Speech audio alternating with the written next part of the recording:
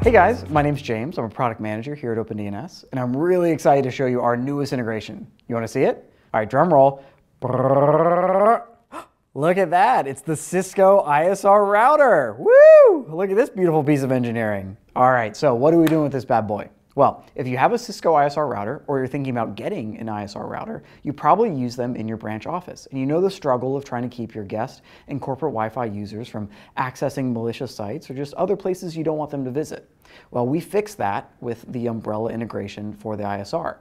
Our integration allows you to send all of your guest and corporate Wi-Fi traffic through the Umbrella platform, and that gets you two really great things. The first is world-class content filtering. So within minutes, you can have really fantastic content filtering policies set up and running and applying to all of your traffic. But what's even better is layered on top is Cisco Umbrella's phenomenal enterprise security offering. So malware, botnet, phishing protection, all layered on top without any additional security knowledge or configuration needed. The best part of all of this is it's super simple to set up. You don't believe me? Let's check it out. All right, for those of you that don't know, this is the Umbrella dashboard. Now to set your ISRs up, first you need to click on Identities, go to Network Devices. Now right here, you would click to get your API token. You would take that API token and add it into a command line configuration on the ISR. It's really easy, it takes just a couple minutes. Once you add that API token into the command line, within about 10 seconds, you'll see the devices start to appear. Now you can actually do two different types of integrations. You can integrate the entire ISR, so all traffic flowing through it, or you can break it down and have a separate integration for your corporate Wi-Fi and your guest Wi-Fi, which is what we're showing here. Now, let's say we want to set up a policy for your guest Wi-Fi traffic. Now what you do is you go over to your policies page and you click to create a new policy. We would find that identity, so you click on network devices and then select the guest Wi-Fi. Now here's where you'll select your content filtering and your security settings.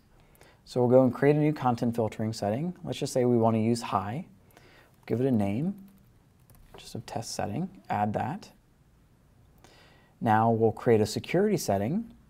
We'll just use our default settings, which is malware, botnet, mobile threats. Just our default settings here. We'll do test setting again, add that to the policy. Now you just need to click through a couple more screens and you're up and running. So you, as you can see, it's super fast, takes about 15 seconds to get your policy set up on the devices. And this is a really great way if you're an existing OpenDNS customer, you can expand your footprint by using the ISRs as well.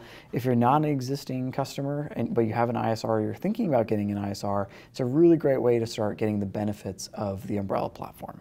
All right, so to wrap up, you get world-class content filtering, enterprise level security, and it's all set up within minutes. How great is that?